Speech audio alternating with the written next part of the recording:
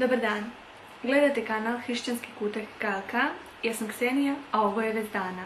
Gospodin Milan Šimon, za mene nepoznata osoba, je užoj i široj javnosti izneo na svojim društvenim mrežama konkretne mere prevencije protiv e, virusa COVID-19. Drugim rečima, mere za zaštitu vlastitog imunog sistema. Uputstvo o merama zaštite je objavio stručno u osam tačaka građanske svesti.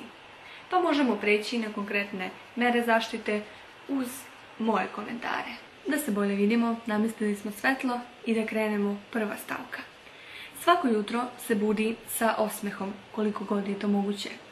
Nemojte ustajati na levu nogu, jer možete povrediti nogu i ceo vaš dan može krenuti izbojlice. Druga stavka, viđajte se što više sa pozitivnim ljudima. Ne mislim sad na pozitivnim na COVID-19, već pozitivnog karaktera i raspoloženja.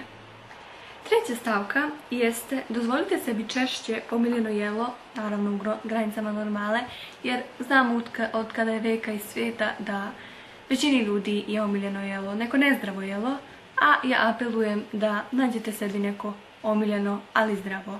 Četvrta stavka Posvetite više pažnje svojim prijateljima i porodici, ne zaboravivši na onaj drugi korak, a to je da se viđate sa pozitivnim ljudima, viđate se sa pozitivnim prijateljima i pozitivnim članovima porodice, jer to može biti do velike mere jako uticaj, e, može imati e, pozitivan učinak na vaš imunni sistem.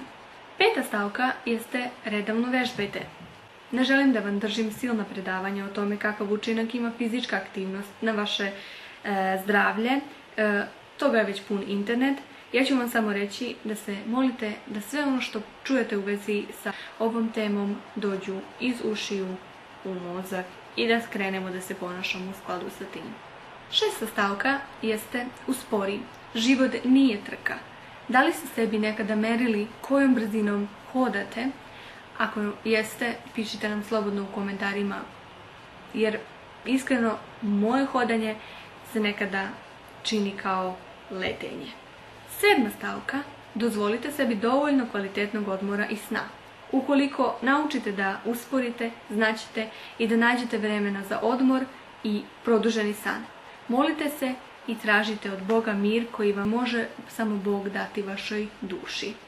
I osma stavka, E, prestanite da gledate negativne vesti i zastrašujuće naslove u novinama ili na internetu. Zato ja i moj muž nemamo televizor u kući, e, ni ne pratimo grupe na internetu, na Facebooku i sličnim stvarima na slične teme. Poštovani gledaoci, hvala vam na pažnji i želim vam prijetan ostatak dana uz Božju pomoć.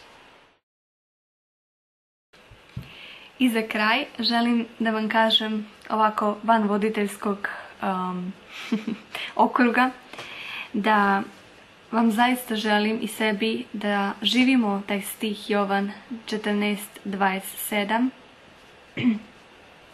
Mir svoj vam ostavljam, mir svoj vam dajem. Ne dajem vam onakav mir kakav svet daje. Ne dajte da vam uznemirenost i strah oduzmu srce. Neka je samo amen ovaj stih u našim srcima. Vidimo se nekog narednog puta. Ćao!